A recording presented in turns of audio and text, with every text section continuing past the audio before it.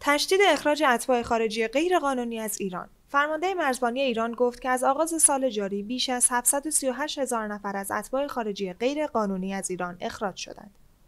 افغانستانی ها بزرگترین جمعیت مهاجر در ایرانند و این کشور مانند پاکستان در هفته های اخیر بیرون کردن مهاجران افغانستانی را تشدید کرده است. سردار احمد علی گودرزی فرمانده مرزبانی ایران گفت که این مهاجران به شکل غیر قانونی وارد ایران شده بود. بر بنیاد آمارهای رسمی حدود 5 میلیون افغانستانی در ایران زندگی می کند. چندی قبل معاون وزارت دادگستری ایران گفته بود که ایران مقصد 63 درصد از پناهندگان کشور افغانستان است. پس از به قدرت رسیدن گروه طالبان در افغانستان میلیونها شهروند افغانستانی آواره شدند و بسیاری از آنها به کشورهای همسایه از جمله پاکستان و ایران پناه بردند.